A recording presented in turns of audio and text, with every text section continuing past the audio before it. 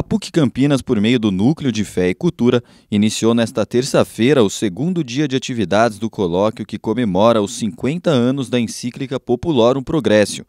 A palestra, realizada no período da manhã, discutiu sobre os desafios que surgem em torno da pluralidade do mundo contemporâneo e também do fundamentalismo religioso. Do modo preciso, com relação a hoje, é, ela contribui no sentido dessa solidariedade entre as diversas tradições religiosas. Então, esse diálogo interreligioso, essa abertura de tentar compreender o outro uh, da outra tradição religiosa.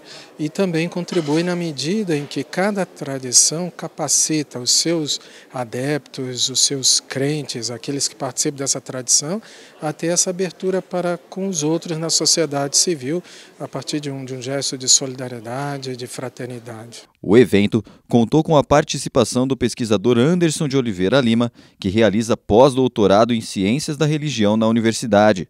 Ele destacou a pluralidade presente no Evangelho e questionou as interpretações abusivas da leitura bíblica. A Bíblia, muito mais do que na universidade, ela é lida na comunidade. Né? E a relação da Bíblia com os grupos fundamentalistas, aqueles que acham que são os donos da interpretação e que usam essa interpretação para para fazer disso um, meio de legitimar seus próprios dogmas, suas próprias crenças, até alguns atos de violência, etc. Isso é que nós vamos debater e tentar até deslegitimar e dizer que a Bíblia ela se encaixa muito mais do lado da pluralidade religiosa e que, portanto, usar a Bíblia para defender um, um, único caminho interpretativo seria um abuso dessa interpretação. Os debates que seguem até amanhã no auditório Dom Agnello Rossi, no CCHSA, mantêm o ideal de contribuir para o desenvolvimento integral da pessoa humana, algo defendido na encíclica do Papa Paulo VI.